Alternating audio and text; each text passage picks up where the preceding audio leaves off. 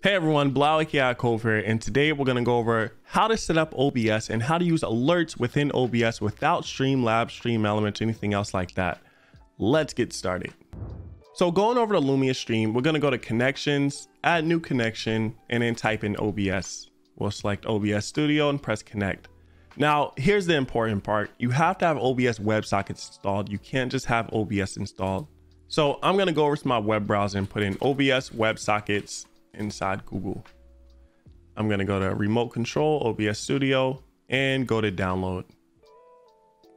So down here, I'm going to scroll down to where it says assets, and I'm going to go to OBS WebSockets Windows Installer.exe. Make sure you're up to date. I'm using 4.9.1 for this video.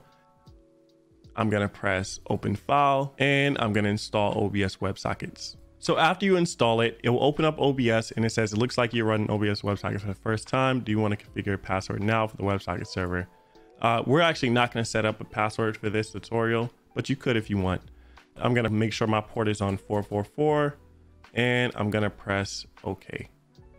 So now if I go back over to Lumia Stream, I'll make sure my port is correct and I'll make sure my host IP is correct. If I'm using on my local computer, just keep this default.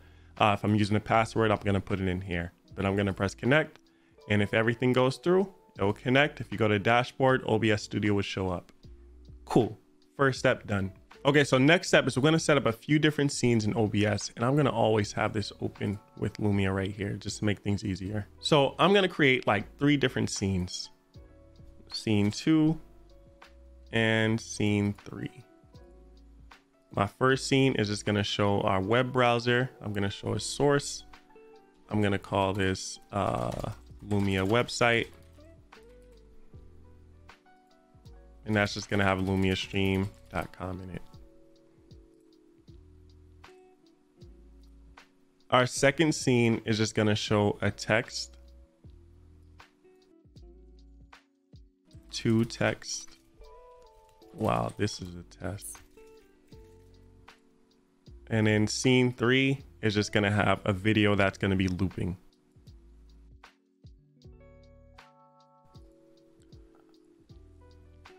So now we have our three scenes set up. We have our loop intro, our text, and our Lumia website. So now we're just going to have a chat command that changes the different scenes. I'm going to set up a command, go to add command, and I'm just going to call this scene two. I'm going to do nothing in this command. I don't want my light to change. So I'm to do no light change and I'm to go to the OBS tab. I'm to use the type as scene set. I'm to choose my scene. And as you see, I just created those scenes. So it's not showing up in Lumia immediately. So I'm to just press refresh OBS settings. And now all my three scenes should show up. So I'm to do scene two and we can test it out here. That's working perfect. Add OBS, press apply. I'm to switch back to scene one manually and I'm to go to shortcuts and just put scene two. Perfect. So now let's say we have one scene, but we have multiple sources inside of it. So I'm to create another scene called scene four, and we're to kind of just duplicate those sources that we used before. So Lumia website, scene two text, loop intro. And now I just want to make sure all of these are invisible. So now I'm going to trigger a source within OBS. So I'm going to create another command called source website. I'm going to also do a no light change again, but if you want to do a light change, that's fine as well. I'm going to go back to OBS. I'm going to choose my type and I'm going to use source.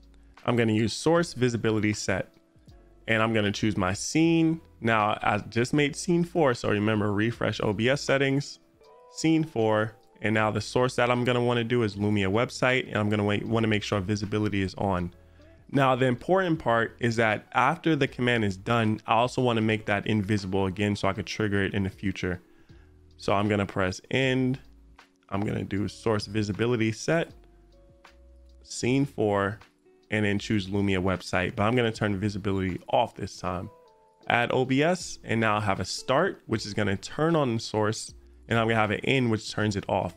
So if I press apply, refresh, control center, exclamation point, source, website, And you see it turned it on and this command lasts for four seconds. So it should turn it off right there. Perfect. Now, this is super powerful because now you can create your own, you know, Streamlabs or Stream Elements alerts directly within Lumia. So I have this loop intro, which is just a video, right? But let's say we wanted to create a different video that was more like an alert. So I'm to choose an uh, alert that I already have set up. I'm to call this alert video. I'm to go to triangle synth wave. And you see it shows up as a triangle right there. But now I'm gonna bring back my scene two text. So I'm gonna want my, you know, I'm gonna want this in like the top right corner. And I'm gonna put like my text in the triangle. And I'm just gonna say new follower. I'm gonna press OK. And now anytime we get a new follower, we're just gonna pop up this source uh, as well as the text. So by default, I'm gonna have this invisible. And now if I go to an alert, and I go to Twitch follower, I'm to go to advanced, manage OBS. Well, let's refresh settings first. I'm to go to source visibility set. I'm going to choose my scene four, and then I'm going to go two alert video and make sure that turns on. Add OBS, but now we want a small delay before the text turns on, right? So you have a delay. Let's say we wait, you know, one second's fine. Uh, and now we're going to have another source visibility set. But this time we are going to source the scene to text and we're going to turn that on. And now in the end, we just want to turn off the video and turn off the text.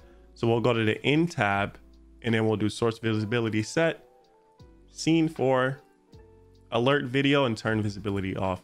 Same thing for the text.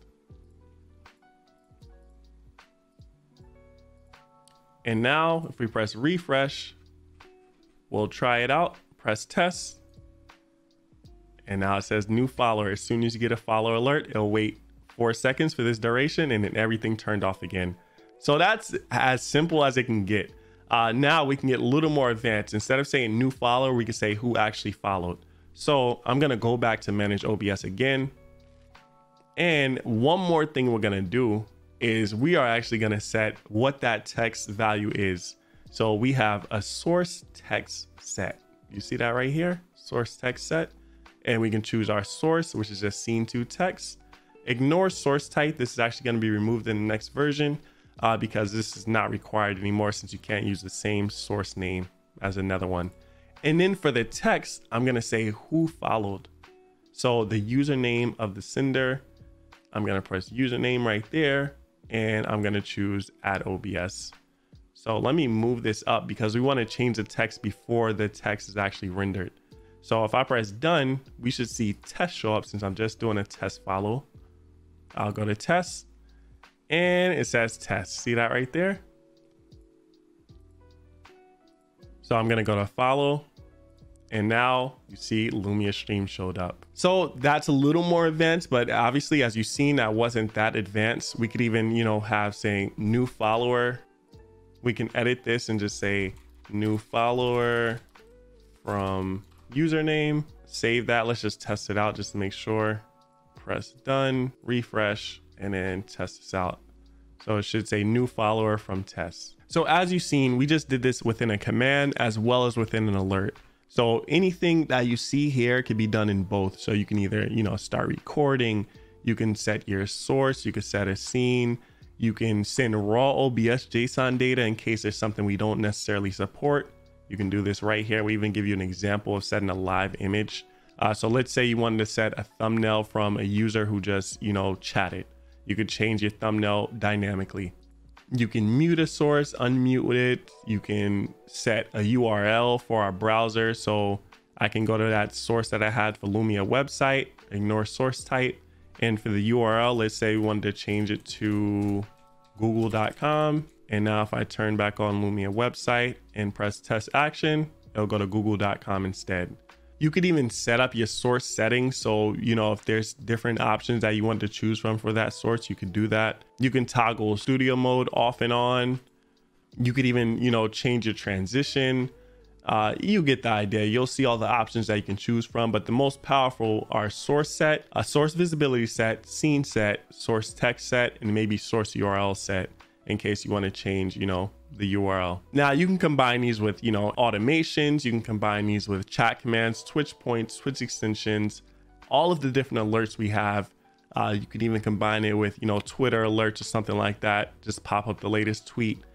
You get the idea. We even have a way of, you know, combining this with Spotify, which we made a whole tutorial for that we'll link to down below, where it triggers your latest Spotify song that's playing and show it in OBS. So that's all we have for today. There's a lot more to go over and a lot more things you can do with OBS, but this should hopefully get your mind flowing and get the energies going. So we hope you all have a luminous day. Make sure you like, comment, subscribe, and we'll see you next time.